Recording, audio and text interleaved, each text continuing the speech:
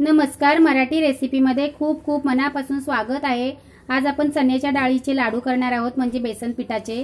चण्याची डाळ भाजल्यापासून तर पीठ भाजण्यापासून असे दाणेदार लाडू कसे बनवायचे ते मी आज तुम्हाला दाखवणार आहे. हे स्वादिष्ट असे आणि न चिटकणारे दाणेदार लाडू तयार केलेले आहेत. हे लाडू जर तुम्हाला आवडले तर नक्की लाईक करा कमेंट करा आणि तुमच्या मित्रमंडळींना शेअर करा. आणि जर तुम्ही माझ्या चॅनलला सबस्क्राईब केलं नसेल तर सबस्क्राईब करा. त्याच्या बाजूला बेलचं बटन आहे त्याच्यावर क्लिक करा. म्हणजे मी नवीन रेसिपी टाकेल त्याचं तुम्हाला नोटिफिकेशन येईल. आपण लाडवाचे साहित्य पाहूया. आज आपण अर्धा किलोचे लाडू करणार आहोत. त्यासाठी मी हे अर्धा किलो बेसन पीठ घेतलं आहे. चणा डाळ स्वच्छ कपड्याने पुसून तिला चांगली भाजून नंतर मी घरघंटीवरून दळून आणलेली आहे. तुम्ही मिक्सरला दळली तरी चालेल. आणि ती डाळ कशी पुसायची त्याचा मूग डाळीचा व्हिडिओ आहे. त्यामध्ये तुम्ही बघू शकता. ओला कपडा करून तिला स्वच्छ पुसून घ्यायचे आहे कारण पावडर असते. आणि अर्धा किलो ह्या डाळीचं पीठ आहे. चारशे ग्राम तूप आहे. आपण सर्व वापरणार नाही आहे थोडं थोडं वापरणार आहोत. जेवढं लागेल तसं. आणि तीनशे ग्राम साखर आहे. साखर तुम्ही तुमच्या चवीप्रमाणे घेऊ शक घेऊ शकता. वेलची पावडर आहे. आणि मनुका. मी कढई गरम करायला ठेवली आहे. त्यात तूप घालणार आहोत आपण.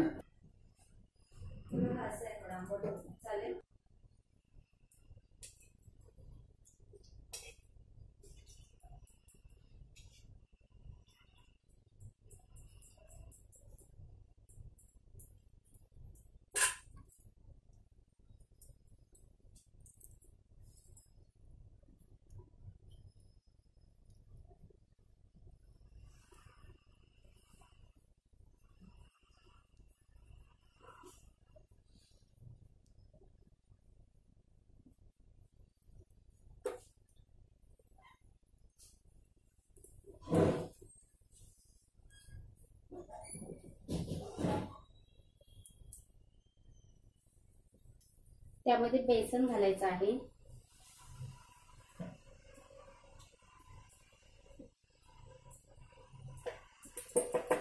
तुमचं भांड मोठं असेल तर तुम्ही एक साथ अर्धा किलो बेसन भाजू शकता नाही तर पावपाव किलो भाजायचं आहे. गॅस बारीकच ठेवायचा आहे आणि सतत आपल्याला हलवत राहायचं आहे. व्यवस्थित असं मिक्स झालं पाहिजे. आणि डाळ जर तुमची चांगली भाजलेली असली तर पीठ जास्त भाजायला लागत नाही. आणि कुठली होणार नाही याची काळजी घ्यायची. म्हणून हलवण्यासाठी व्यवस्थित असं भांडं घ्यायचं पलिता घ्यायचा चांगला. आणि तुम्ही थोडं थोडं पण भाजू शकता. मी पहिलं शंभर ग्रॅम तूप घातलेलं. शंभर ग्रॅम तुपामध्येच मी अजून भाजत आहे. आणि सर्व एकसाथ पीठ तूप टाकलं तर पीठ भिजणार. आणि मग चांगलं तुमचं बेसन भाजल्या जाणार नाही. आणि बेसन थोडंसं जरा जाडसरच दळ दळून आणायचं आहे. सतत हलवत राहायचं आहे. भाजी भाजल्याच्या नंतर तर तुम्ही सततच हलवायला पाहिजे. भाजायच्या आधी थोडंसं जरा टाकल्या टाकल्या कमी हलवलं तरी चालेल. पण जसं तुमचं पीठ भाजत येईल तसं तुम्हाला एकसारखं हलवतच राहायला पाहिजे. आणि जर तुम्हाला कमी तुपामध्ये बनवायचे असतील तर असं थोडं तूप घालून भाजून घ्यायचं पीठ. चांगलं पीठ भाजल्याच्या नंतर परातीत काढून थोडंसं थंड झाल्यावर त्याच्यावर साखर टाकायची. वेलची पावडर टाकायची आणि तूप गरम करून लागेल तसं टाकायचं. जसे आपल्याला लाडू वळता येतील तेवढंच तूप घालायचं.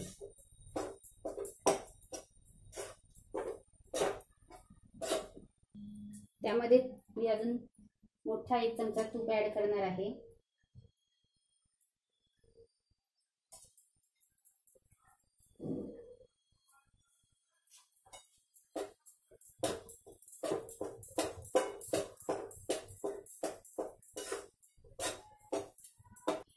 बघू शकता तुम्ही पिठाचा पण आता कलर चेंज होत आला आहे.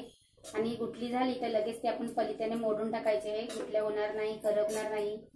याची काळजी घ्यायची आहे. तुम्ही जर चांगलं पीठ भाजलंच नाही तर लाडू तुमचे टाळूला चिटकतील. म्हणून पीठ चांगलं भाजणं गरजेचं आहे. त्याबरोबर डाळ पण चांगली भाजणं गरजेची आहे. आणि थोडं पीठ पण तुमचं जाडं निघालं पाहिजे.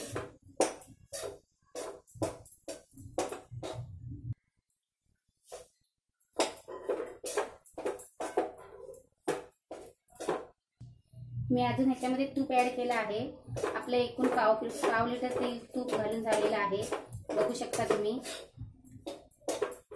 आणि तुम्हाला जर हलवाईसारखे लाडू करायचे असतील तर खूप सारं तूप घालायचं. जेवढं पीठ आहे तेवढं. आणि मग त्या तुपामध्येच हे पीठ भाजायचं चांगलं. मग ते पीठ चांगलं फुलतं. हे आपले घरगुती आहेत म्हणून आपण थोडे थोडे पीठ तूप टाकून पीठ भाजायचं आहे. हे सुद्धा खूप चविष्ट लागतात. मी हे अर्धा तास मंद आचेवर पीठ भाजून घेतलं आहे. मी एकदाही गॅस मोठा केलेला नाही बारीकच ठेवलेला आहे एकदम. हे अर्धा तास पीठ भाजायसाठी लागला आहे खमंग सुवास सुटला आहे. पीठ आपलं आता भाजून झालं आहे. लगेच तुम्ही काढू शकता आणि लगेच जर काढलं नाही तर कढई गरम असते मग पिठाचा कलर चेंज होऊ शकतो खालून पीठ करपू शकतं. म्हणून आपण सतत असं हलवत राहायला पाहिजे. पीठ आपलं आता काढून घ्यायचं आहे.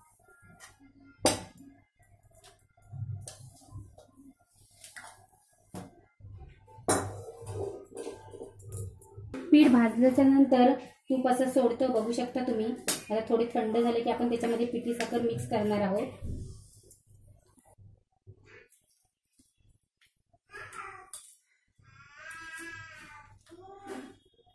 साखर थोडी थोडी मिक्स केली तरी पण चालेल. चांगलं मिक्स करून झाल्यावर त्याच्यावर वेलची पावडर घालायची आहे. चांगलं मिक्स करून घ्यायचं आहे. चांगलं मिक्स करून आपल्याला जेवढे पाहिजे तेवढे आपण बांधायचे लहान मोठे केवढी साईज पाहिजे तशी. असं व्यवस्थित दाबून दाबून बांधायचं आहे. जेवढे तुम्हाला लहान मोठे पाहिजे तेवढे तुम्ही करायचे आहेत. चांगले व्यवस्थित असे दाबून दाबून करायचे आहेत.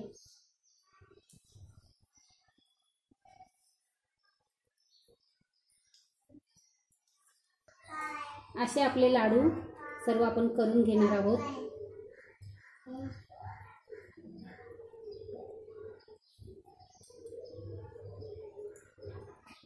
असे हे आपले लाडू तयार आहेत.